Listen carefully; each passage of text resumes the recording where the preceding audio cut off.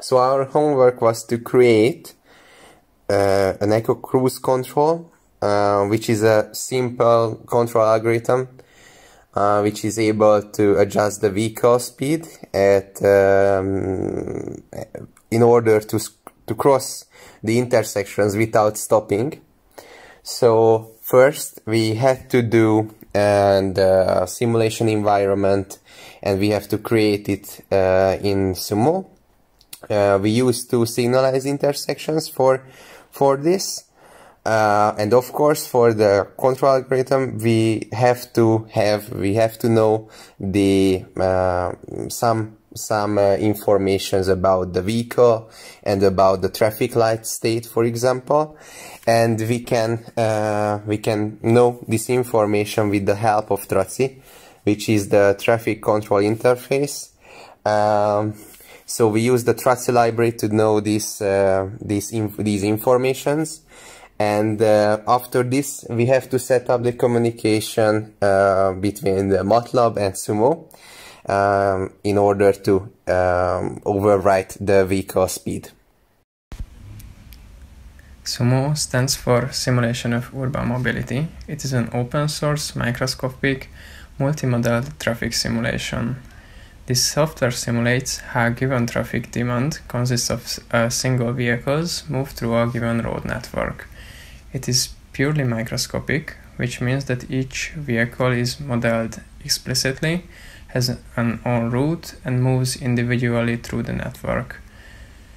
That means that each vehicle has uh, different vehicle dynamics parameters and unique route. Simulations are deterministic by default, but there are many options to introduce randomness to the simulation.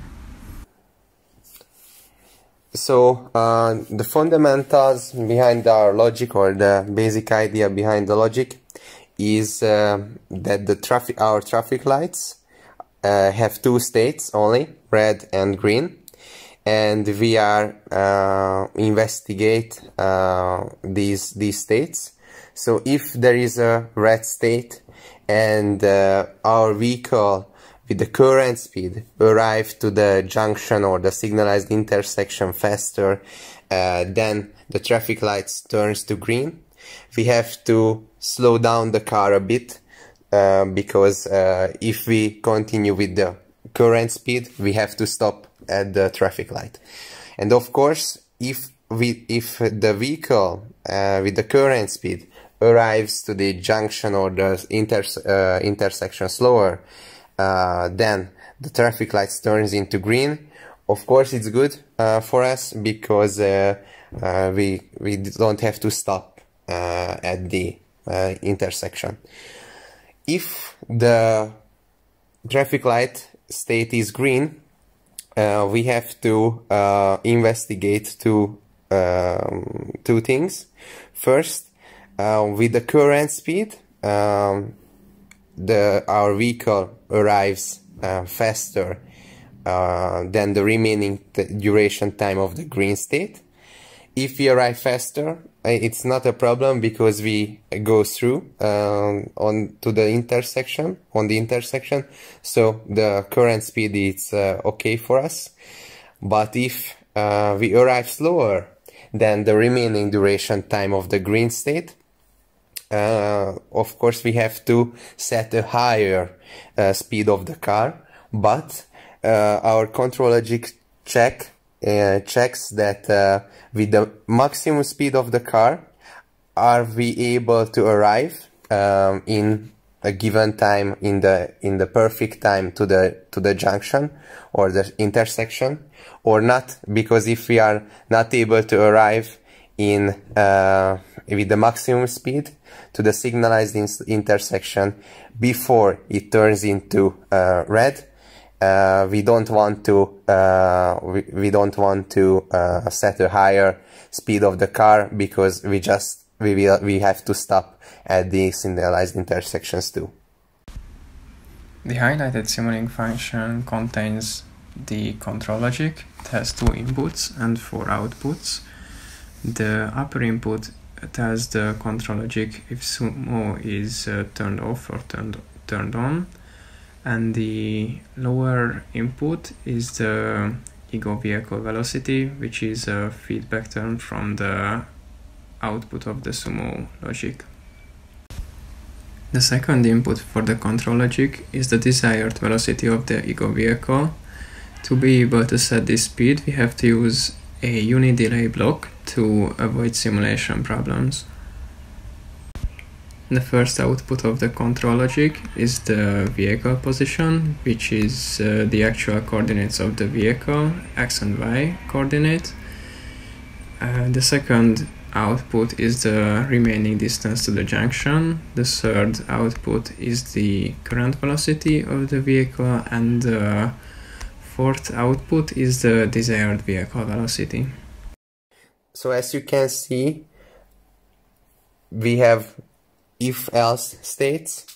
Uh, the traffic light traffic lights has two states. So first we investigate them, if it's green or, or red. Uh, and after that we just, uh, as we described earlier, we just uh, comparing the the arriving times and uh, the current duration times of the states, and we just setting up the set up the the, the velocity of the vehicle uh, slower or or uh, or a higher speed. It depends on the the states and it depends on the arrival times.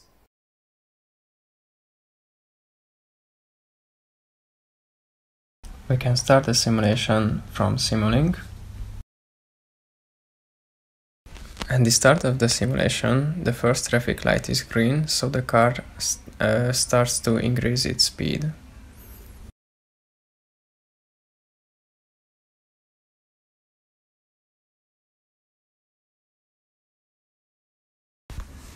As the second traffic light is red, the car has to reduce its speed. It travels towards the intersection with the minimum allowed speed until the light turns green again.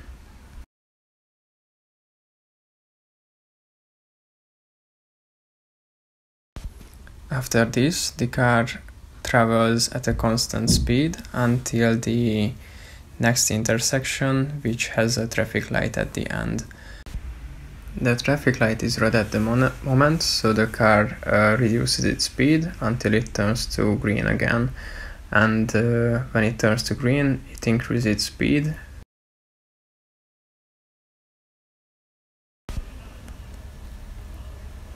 we can see the created road network in SUMO, which can be visualized with the NetEdit application.